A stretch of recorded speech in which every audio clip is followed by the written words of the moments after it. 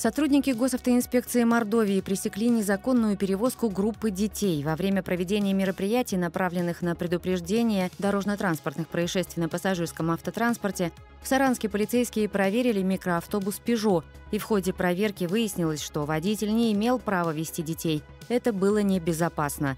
Микроавтобус не прошел технический осмотр. Ребята 16-17 лет приехали из Ковылкина, 10 человек, команда детско-юношеской спортивной школы. За нарушение водитель понесет административное наказание. Также водителю выдано требование о прекращении противоправных действий, то есть о прекращении перевозки пассажиров. Ответственным сопровождающим лицом были вызваны родители данных детей, которые забрали их домой уже на личном транспорте.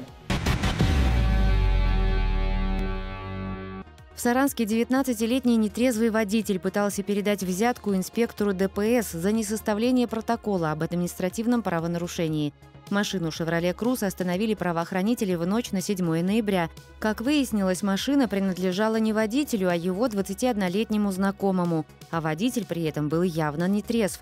По результатам медицинского освидетельствования у него установлено алкогольное опьянение 0,475 тысячных миллиграмма на литр.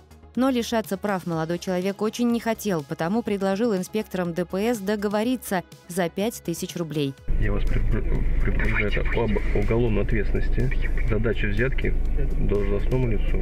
Правоохранители предупредили мелкого взяточника об уголовной ответственности за его действия, но тот продолжал настаивать. Тогда полицейские вызвали на место происшествия следственно-оперативную группу.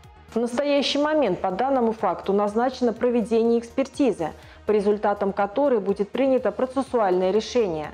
В отношении водителя и собственника транспортного средства составлены административные материалы по части 1 статьи 12.8 Кодекса об административных правонарушениях Российской Федерации. Управление транспортным средством водителем, находящимся в состоянии опьянения – если такие действия не содержат уголовно наказуемого деяния. И части 2 статьи 12.8 Кодекса об административных правонарушениях передача управления транспортного средства лицу, находящемуся в состоянии опьянения соответственно. На скамью подсудимых отправятся четверо работников сельхозпредприятия в Чамзинке за кражу 65 кур. Как установлено в ходе предварительного расследования, 9 августа у злоумышленников в возрасте от 26 до 35 лет родился план украсть кур несушек и продать их. Они сложили птицу в мешки и вынесли за пределы предприятия, где оставили до конца рабочей смены. Но поклажу обнаружили охранники и сообщили в полицию. Обвиняемые были задержаны с поличным в тот момент, когда приехали за несушками. Свою вину в совершенном преступлении местные жители признали полностью. Причиненный организации ущерб составил 18 тысяч рублей. В отношении мужчин была избрана мера пресечения в виде подписки о невыезде. Похищенное изъято и возвращено на фабрику. В настоящее время уголовное дело направлено в суд. Более миллиона четырехсот тысяч рублей перевела мошенникам жительница Ковылкина, предполагая, что защищает свои сбережения. 60-летняя местная жительница рассказала, что 3 ноября ей позвонил якобы представитель банка. Сообщил, что якобы мошенники пытаются оформить на ее имя кредит. Для предотвращения несанкционированных действий специалист посоветовал действовать на опережение злоумышленников и перевести все свои сбережения на резервные счета – Потерпевшая, следуя инструкциям, в течение нескольких дней снимала деньги со своего банковского счета и переводила их на продиктованные неизвестным абонентские номера. Осознав, что стала жертвой мошенников, она обратилась в полицию. В настоящий момент проводится комплекс необходимых мероприятий, направленных на установление лиц, причастных к преступлению.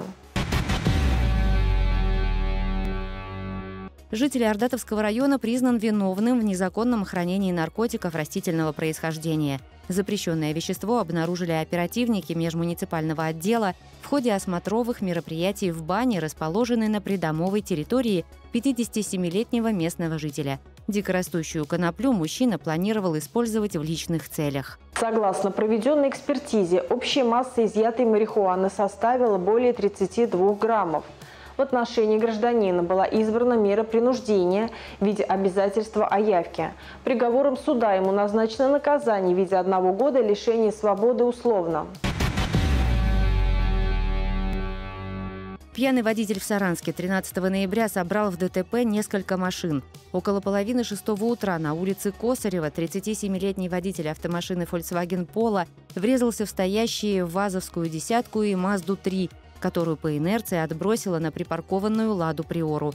В результате ДТП водитель «Фольксвагена» получил травмы, но лечиться он будет дома. У него установлено состояние алкогольного опьянения 0,830 тысячных миллиграмм на литр. Мало того, выяснилось, что водитель уже лишен права управления за пьяную езду. Теперь он понесет наказание за повторное управление в состоянии опьянения. 13 ноября в Саранске сильный ветер наломал не только немало веток. Одно из деревьев, которое, вероятно, давно надо было убрать из-за ветхости, не выдержало воздушного напора. На улице Титова около половины восьмого утра жители окрестных домов услышали громкий треск и грохот падающего тополя. По счастливой случайности на тротуаре не было прохожих, а на проезжей части машин. В противном случае дерево могло наломать немало бед. Обошлось без пострадавших.